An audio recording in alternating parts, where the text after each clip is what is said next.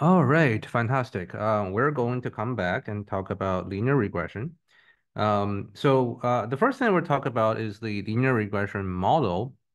Uh, we uh, have a feature vector, which is my input. Um, typically, we refer to the input as a feature vector. And uh, we assume that uh, the feature vector has p dimensions, right? So it's a vector that it's really a column vector uh, goes from 1 to p. Okay? So, uh, and the output, we assume that is a scalar y. Okay? So, and the model we are trying to learn is completely linear uh, in the sense that it is a, um, it can be represented as a straight line, or it is linear in the uh, uh, uh parameters. Um, so, um, uh, the uh, the input is x1, x2, all the way to xp. And for each input dimension, I have a, excuse me, model parameter, um, beta 1, beta 2, uh, through beta p. And on top of that, I also have a parameter beta 0, right? Uh, so uh, you can I can write things in a vector form uh, where beta is, again, a column vector, containing all these values from beta 1 to beta p, and that has a dot product with my input vector x. So that gives you a the first p terms. Um, and the last term is uh, beta 0, uh, which is not part of dot product. And uh, the beta 0 is referred to as sometimes the bias or the offset. Okay, so so that's that's basically our functional form. I'm going to use uh, y hat to denote the prediction of the model, whereas the ground truth value, gt, the ground truth value uh, is y without the hat. So the hat is my way of saying this is a prediction. This is an estimate of the real value y. Um, so we have some data points. Um, I'm going to denote these data points as x1, y1, x2, y2, and all the way to x, x n, y n. Uh, I'm going to use the superscript, superscript um, to denote the data number, right? Data instance number. Um, so, and the subscript, well, x1, for example, denote that this is the first dimension of my vector x. So the subscript denotes the uh, dimension number. Um, the assumption, uh, just like every uh, machine learning model, uh, we assume that the data points uh, follow uh, this model um, with the same beta and the same beta zero, and you can plug in any xi, and that should give you a value that is uh, pretty close to the actual ground truth yi. But this is like the estimated value, right? So um, the central question of supervised machine learning really is how do we find um, these model parameters, right? So I have defined these parameters, beta and beta zero. Uh, what? How do I determine the optimal values for them? Um, so uh, before we move on, uh, I want to just tweak our notation just a little bit. Uh, so previously I have p dimensions for uh, x, but now I'm going to add one more dimension. So uh, after p uh, after xp, I have another dimension, um, which is xp plus one. Uh, but I'm just gonna say this dimension is always equal to one. Okay, so it's always equal to one. And the reason I do that is that I'm also going to augment the beta parameter and put beta zero as the p plus one dimension of this vector. Okay, so when I dot do a dot product, this new beta multiplying this new x, this will give me uh, exactly what I said earlier, which is like x1 times beta 1, uh, x2 times beta 2, all the way to uh, xn times, sorry, xp times beta p plus beta 0 times 1, which is beta 0. Uh, so this is exactly the same uh, linear model that we have specified earlier. But now we have a pretty good, a more simplified uh, a vector form uh, analytical form, right? So Uh, that's my small tweak. And to fit this model is equivalent to finding a straight line or a plane or a hyperplane. Um, so in 2D, in the 1D case, really, if my input is a single dimension, a single scalar, so this is my input x, and this is my output y, okay? And so each point is a data point, let's say x1, y1, and maybe this is my x uh, 5, uh, y5, maybe. Um, so each of the blue dot is um, a input data point uh, in the training set, and I can draw them, I can locate them on this 2D diagram, right? So, and uh, the model, the linear model I'm fitting is just the this line here, right? So after I fit this line, I will be able to read off um, any for any x values that, you know, no matter if it has appeared uh, or not in the training set, I will be able to find the corresponding y value, right? So just give you an example, if I just randomly pick a x value x prime, um, I go to this straight line and the straight line, the value on the line will tell me, you know, what is the corresponding uh, value of y, right? So, so that is uh, the machine learning model that we have fit and to the to the training data, to the blue dots. And uh, the intuition behind linear regression um, is just to find the straight line that is closest to the observed data point. All right, so this is a straight line. This is the 1D case. Uh, I mean, my input input is one dimensional. Um, I could do a 2D case, okay? Uh, so I have uh, two uh, dimensions. This is my x1, and this is my x2. And uh, this this one, this this dimension uh, is my y, okay? And uh, in if I do this, uh, and my, my data points can be represented as 3D points, uh, points in 3D space. Um, and my job uh, for linear regression becomes finding the best 2D plane that is closest to all the observed data points, right? For some definition of closest, uh, which I will talk about in a few moments. Uh, what about higher dimensions?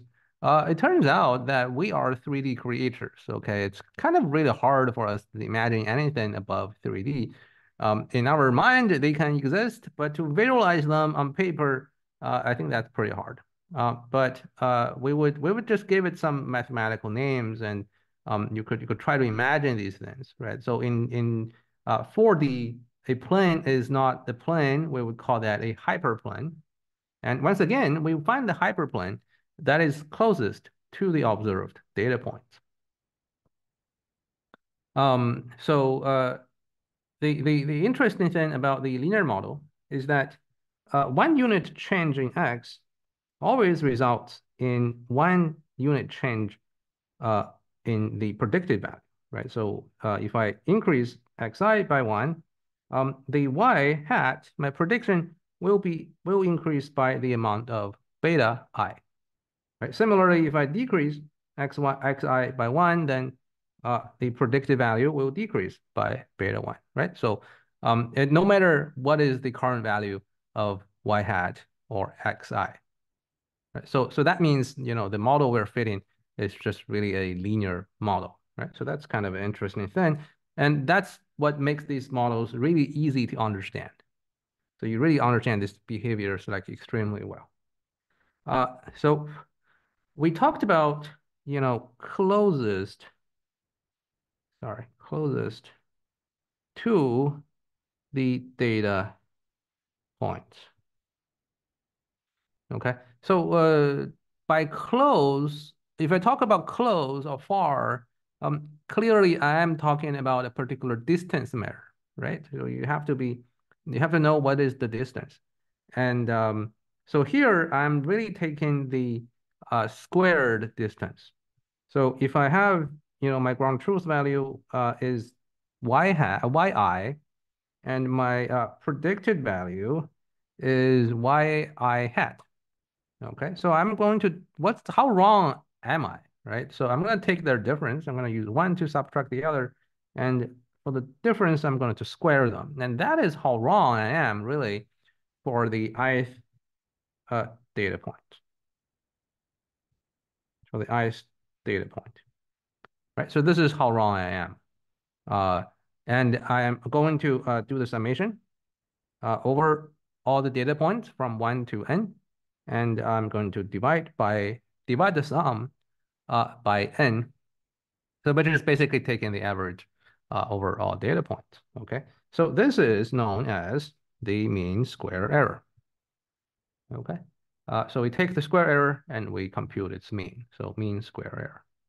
And if we do a vector notation, I'm going to let my y vector be equal to uh, y1. So this is here one denotes the super y y1 is the superscript, which means it's the data point number. It's not really um, a a vector dimension um, because uh, you know uh, the the for every data point my output is always a scalar, but I am like putting everything into a vector, so uh, it's kind of easy to write these things, right? So I have y1, uh, y2 superscript, uh, y3, and all the way to yn, and transpose. So this is my uh, y vector. And similarly, I have my y hat vector, which is the prediction on the first data point, all the way to my prediction on the nth data point, transpose to denote this as a column vector. And the difference between these two vectors, and I take the L2 norm or Euclidean norm, all right, and uh, I'll square them and divide the thing uh, by n. So this is equivalent to uh, the the this part of uh, the equation. Okay, so uh, so that is another way to write the, the this distance, and this is known as my measure of error or the loss function. So this is something I try to minimize in order to find the best line or the plane or the best hyperplane, right? So the best hyperplane is defined as the hyperplane that minimizes uh, this loss function or this uh, measure of error. Okay. Um, so really, um, the, the central idea in machine learning is, or supervised machine learning, is that I want to find the model parameters that lead to the smallest error on all possible data. By all possible data, I mean this could include data from yesterday but also data from tomorrow and data from the day after tomorrow. So what, uh, how do I know what's going to happen the day after tomorrow? Well, I don't, okay? So I really don't have data from the future, um, which is, you know, my test data, which I haven't seen uh, during training. So, uh, but I do want my model to perform well on those data points. That's what we, what I care about. Uh, for the data points I have already observed, you know, I don't care about them as much because, you know, if I see them again, I know what's the ground truth. I have seen the paired value. So if I know the input, if the input is the same, output should probably be the same or very close to the same value, right? So uh, for the training data, I don't really care about them that much, but what I really, really care about is the test data that I have not seen during training but uh, we don't know what they are. Um, so all we can do is to uh, minimize the error on the training data and hope that maybe we can actually have low error on the test data. Um, so uh, that's kind of a weak uh, thing, um, but um, in many cases, uh, this kind of works, right? So we're not actually going to talk about theories of generalization. Um, I think our, our understanding of these things are not very good um, at this moment. Um, but um, uh, you know, there there there are certain uh, theories that you can you can study, uh, but we wouldn't really go into that deep mathematics in this course, really. Um, long story short, uh, we don't know uh, what our test is going to be. Um, so all we can do is try to minimize error on the training data and see uh, and hope uh, this will work out. And there are cases this we know this wouldn't work out, which is when the training data are too few.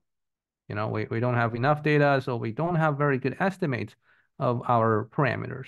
Or maybe we do have abundant training data, but they are not representative of the test data. So maybe um, there are some distribution shifts um, between the training data and the test data. Um, and in these cases, we could resort to what we call regularization. So there are techniques that uh, would reduce uh, the increase error on the training data, but reduce the error on the test uh, unseen test data. So we could do something like that. And we will see uh, one type of regularization during uh, when we talk about ridge regression, right? So uh, first of all, how do we find the solutions uh, for uh, linear regression? Um, we can write things in a matrix form, which I which we like because they're pretty concise. Um, so we have the X matrix. and The X matrix is of the uh, this dimension. So we have uh, n rows and p plus one columns, and the last column is filled with ones. So each row is a data point. Okay, and we have, oops, oops. I have y, I have my y vector, which is a vector of uh, n dimensions because each data point has a scalar output. Okay, so if I do these things, so x times beta is basically uh, my y hat value. Uh, and, and we do the difference and then we do the norm squared, the average, right? This is, this is the same thing as the mean square error we have seen before. Now, uh, we're going to use the same thing that we have been using um, like for quite some time. Like how do I find a minimum for a particular function? In this case, my MSE, or sometimes also referred to my loss function. So how do I find the minimum for that? Um, I will take the derivative against the model parameter. This is the value I can change. I don't want to, uh, so you always wanted to take the take the uh, derivative against the value you can change. Okay, so x is a given value, y is a given value. There's no way you can change that. So you want to take the derivative against the thing you have control over. Okay, this then is called beta. So we take the derivative against beta, and uh, that's, if you do the math, this is what you get. And uh, we're going to set that to zero. Okay, and we're going to solve that equation and find what's the optimal beta. So it's actually pretty easy to do. Um, take a look at these equation. Okay, we're going to so first disregard the constant 2 over n. And we are left with x transpose x beta minus x transpose y. So I'm going to move uh, x transpose y to the right-hand side. And then I'm going to multiply x transpose x inverse x transpose x beta. So I'm going to multiply x transpose x inverse on both sides of the equal sign. So this will be equal to x transpose x inverse x y. Okay, so we can see that these two terms cancel out, right? So the matrix and its inverse uh, cancel out and you get the identity. So you get beta equal to this thing. So this is the uh, solution. Okay, this is the solution we find for uh, linear regression. And uh, this part is known as the pseudo uh, inverse. Okay, so so that's uh, what we have. Okay, so we claim that this is a minimum.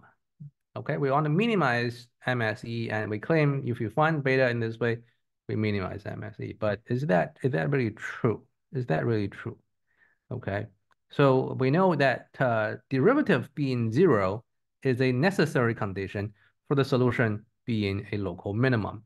Uh, we don't know if uh, but it's not a sufficient condition. So it could be a local maximum or it could be something else, right? So uh, we have three pictures here. So here we have, for this one, we have a local minimum at this red dot, right? This is the smallest of all points around it. And uh, for this one, we have the local maximum. At the local maximum, uh, the derivative is still zero. So it could be a local maximum. Uh, it could also be a saddle point. So a saddle point is one point where it's a maximum along one dimension. So if you take this dimension, let's say this is x1, that is the maximum, right? So all those points are less than this point, this red point in the middle. So this is actually a local maximum. And if you take the direction x2, uh, it's this function. If you slide the loss function surface uh, like along uh, the, the direction of x2, uh, you have this, this function and where this red dot is the local minimum. So it's local minimum on some dimensions and local maximum on some other dimensions. Um, so it's neither really. So it's known as the saddle point. Okay. So uh, so we're going to uh, determine, in order to determine uh, whether it's which case it is, uh, the first order condition, meaning the first order derivative, um, is not enough. So we need to look at the second order derivative. Okay, so second order conditions. Now, what, what is the second order condition? Now, let's just do something simple. So I think most of you have done something like this, is like a quadratic function, um, y equal to uh, 2ax squared plus uh, bx plus c. Um, you know, you have you have done this in like secondary school. Uh, and when um, a is greater than zero, uh, the function looks like looks like something like that, and there is a minimum here, but there's no maximum, right? So the function can go can go on like I'm not drawing this very well, can go on like that uh, forever. So there's no maximum. Uh, for for a less than zero, you have a maximum. So the function looks like that, and there is the maximum point, but again, there's no minimum. Now for a is zero, if a is zero, so the function and b is not zero, the function becomes something like bx plus c, and there's this is like a straight line, so there's no minimum nor maximum. All right. Uh, so uh, the the uh, a value turns out it's, it's critical right? So we, we need to look at the A value to determine uh, if there is a maximum or there's a minimum. And uh, A value is actually the second order derivative, right? So this is, oops, second order derivative of y against x. So it is A. So this value is, is critical in determining if, if this is positive, sorry, if it's a local maximum or local minimum. And uh, we're going to do something similar, uh, but our case is uh, multi-dimensional, okay? So it's not like a 1D case uh, here. So in that case, the second order derivative is no longer a uh, scalar, it is a matrix. And we have seen this matrix before, and it's known as the Hessian matrix. Okay, so the, the Hessian matrix for the diagonals, we have the uh, second order derivatives uh, uh, of each dimension of beta. And for the off diagonals, uh, we have differentiating, we're differentiating against two dimensions from beta. So this is this is the uh, the uh, Hessian matrix. And uh, we can see this is the symmetric matrix because the off diagonal terms, right? These are all identical. Um, so so okay, so that is second order condition. And uh, um, we, we talked about uh, whether a matrix is positive definite or negative definite or things like that uh, when we talk about linear algebra. So it turns out these things are very useful here. All right, so uh, positive definite, um, let's just recall the definition. Uh, a matrix is positive definite if and only if for all vectors x not equal to zero, this quadratic form x transpose ax is greater than zero, no matter what x is, as long as x is not equal to zero, right? So this is a pretty strong condition. Um, and, uh, uh, you know, it, it, one type of uh, positive definiteness is because, you know, you can write things as a form of squares and uh, the squares cannot be all uh, zero at the same time. Uh, so it has to be greater than zero or something like that, right? So, so this is positive definite matrices. Okay, Now, it turns out that uh, whether, uh, you know, in addition to positive definite, you have positive semi-definite, negative definite, negative semi-definite, depending on the sign uh, of the quadratic form. Is it greater than zero, less than less than zero, greater or greater or equal to zero, and less than or equal to zero. So uh, so there's there are four types of matrices like that. And of course, there there are matrices that do not fall under any of these cases.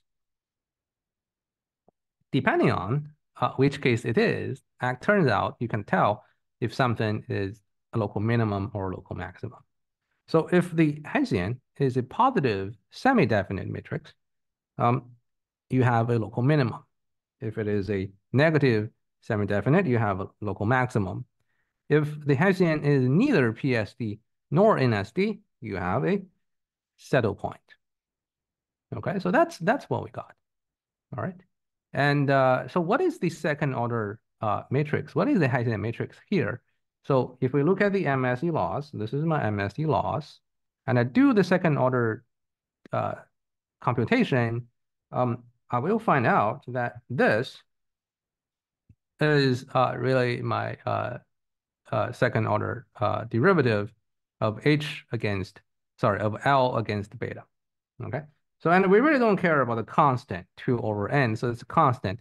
It's not gonna affect whether a matrix is positive or negative uh, definite, okay? So, so we can safely disregard the constant and check if this matrix is PSD or NSD or something like that, right? So we can convincingly show, uh, it's very simple proof that this matrix is indeed uh, PSD. Why? Okay, so I'm going to take an arbitrary vector z, and which is non-zero, and I do the quadratic form, uh, z transpose matrix z, and this I can see this is equal to xz transpose. Okay, and then I have xz. And I'm going to let xz be a vector called A. So this will be A, and this will be also A. So the whole thing becomes A transpose A, and A transpose A is equal to A norm uh, squared. Okay, and we know that since uh, A is a uh, real vector, uh, this whole thing will always be greater than or equal to zero. Okay, so this is indeed, uh, the matrix is indeed PSD, and this is truly a local minimum. Okay, now uh, it turns out that this is not only a local minimum, but also a global minimum. Okay, because the loss function is actually convex. Um, we wouldn't, we don't want to get in too much mathematics, so we wouldn't show that. Uh, but if you're interested, I'm sure you can find uh, a lot of materials online that shows you that, right? So the local minimum is also the global minimum. Uh, so that is my solution, okay? So that is my solution. Um, that minimizes the loss uh, or the MSE function. And this is often referred to as the ordinary least squares solution or the OLS solution. Okay, so we wanted to stop here and take a minute and think about what we just did. Okay, so we started from some data points, x1, y1, and x2, y2, and so on. And we specified a model. Um, we have some model parameters, beta, and then we have input xi, and there's some interaction between uh, the model parameter and the input, and that gives me yi, right? And after that, I have a loss function or the mean square error function. Um, and I uh, minimize that. I find, so this is, this is the error function I defined.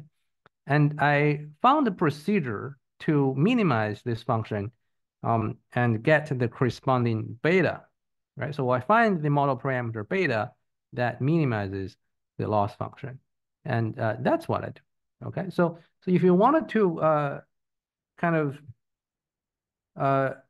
if I wanted to kind of divide uh, the machine learning uh, recipe uh, into two parts, into the innate and the experiential, or rather the human design versus the data-driven, um, I can see that, you know, uh, the red parts, these two steps, step two and three, uh, these are my design, right? I have to specify what model it is. I have to specify what kind of loss function there is. And uh, the data, you know, it's, it's data-driven, it's whatever data gives you that we don't have a lot of control over.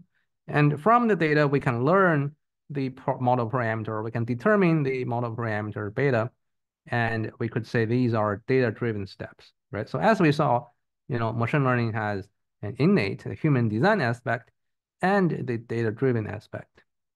So this is this is actually a very, very important recipe that we're going to follow for uh, most of this course, right? So whenever you have some kind of supervised machine learning, you would follow this recipe. You specify, you get some data points um, that have ground truth annotations.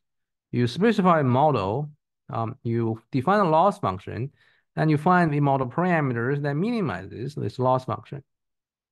And we do this over and over again. So this is really one of the most important slides in the entire course.